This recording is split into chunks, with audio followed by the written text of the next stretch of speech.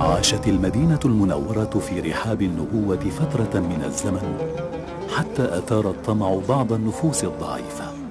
فانتقل معاوية بن أبي سفيان بالخلافة إلى دمشق.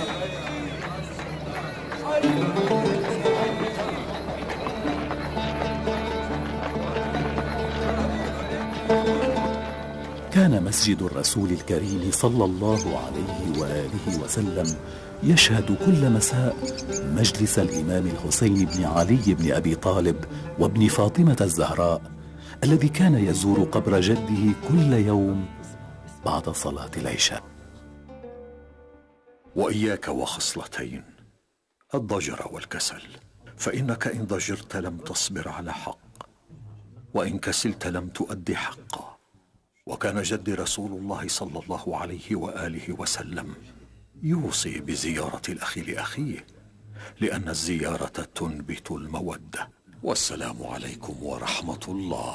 إنها لحظات سعيدة أن يجلس المرء إلى الإمام الحسين وهو يفسر القرآن بصوته العذب ولا يبخل على أحد بالنصح والإرشاد. إنك تقول الحق يا أبا جندب. إن وجه الإمام الحسين يشرق بنور الإيمان وهو لا يحول بصره عن قبر جده الحبيب. ما أشبهه بجده رسول الله خلقا وخلقا ومنطقا فلا تسمع منه إلا ما يذكرك بالله تعالى. إنه إمام من الله ولن يتوب الله على أحد. أنكر مودته.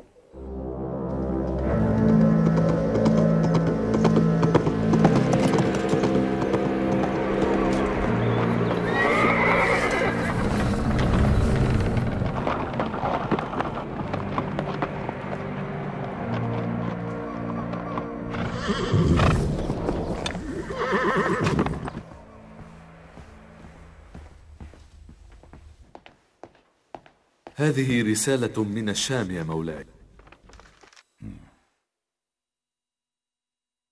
ونبلغكم بأن معاوية قد مات. ماذا؟ مات معاوية؟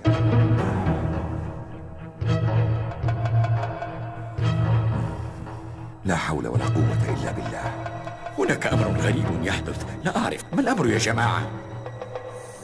يبدو لي أن الرسالة تحمل أخبارا خطرة جدا. ترى ماذا يوجد فيها؟ آه. لا شك في أنها مهمة لدرجة كبيرة. لقد أحضرها رسول دار الخلافة من العاصمة دمشق.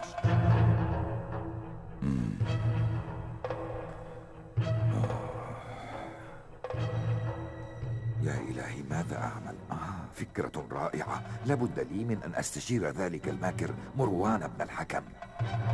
أيها الحارس اذهب إلى مروان وقل له أن يحضر حالا وإياك أن تخبره بأي شيء. حاضر سمعا وطاعة يا مولاي.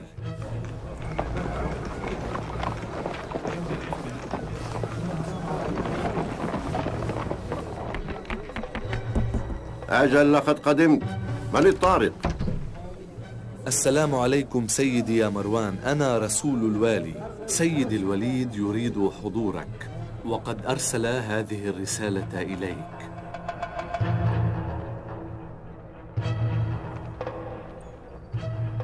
اذهب أنت وسوف أحضر بعد قليل. من الوليد بن عتبة إلى مروان بن الحكم. أما بعد أرجو حضورك إلي حالا. لابد من الحضور إليه لمعرفة السبب. يبدو أن الأمر خطير جدا. كان مروان بن الحكم واليا على المدينة المنورة وقد عزله معاوية بن أبي سفيان وجعل الوليد مكانه.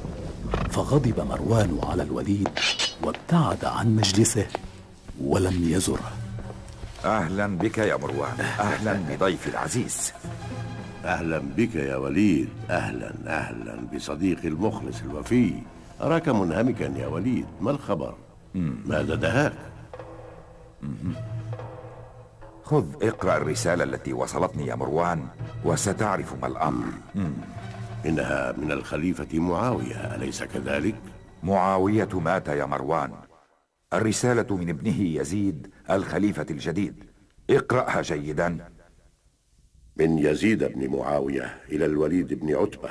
أما بعد فخذ حسينا وعبد الله بن عمرو وابن الزبير بالبيعة أخذا ليس فيه رخصة حتى يبايعوا. يزيد يطلب منك أخذ البيعة من الحسين وعبد الله بن عبد الله بن عمر أليس كذلك؟ ابن عمرو لن يثير المتاعب وسوف يوافق إن وافق صاحباه وهل يوافق الحسين وابن الزبير؟ لا لا أظن ذلك أبدا أرى أن ترسل إليهما الآن قبل أن يعلم أحد بموت معاوية وإلا رفض الحضور وأثر أهل المدينة ومكة على الخليفة الجديد إياك أن تفوت الفرصة يا وليد إنها فرصتك فإن رفضا مبايعة يزيد ماذا يكون موقفي أنا عندئذ؟ يزيد يطلب منك في رسالته معاملتهم بشدة اقتلهما يا وليد إن رفضا حتى يخاف أهل الحجاز ويوافقوا على البيعة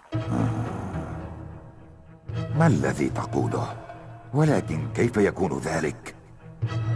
ها؟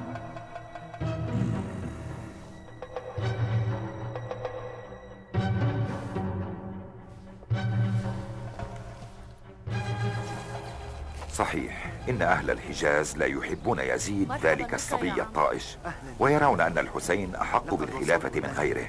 ولكن لحظة لحظة. كأنني أسمع صوت صبي في الخارج. أتسمع يا وليد؟ أجل يا ابن الحكم إنه الصبي عبد الله يتحدث إلى الحرس. ولكن ما الغرابة في ذلك؟ ولقد استرحت مرات عدة على الطريق.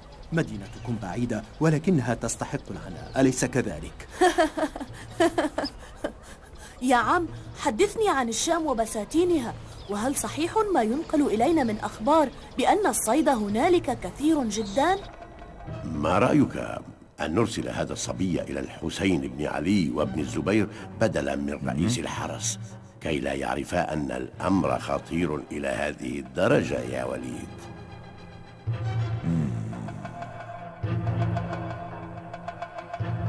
يا لها من فكرة ماكرة.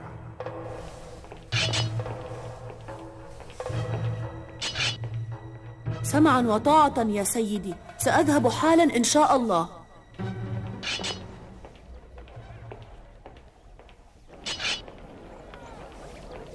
مرحبا بني. إلى أين أنت ذاهب؟ أنسيت صلاة العصر.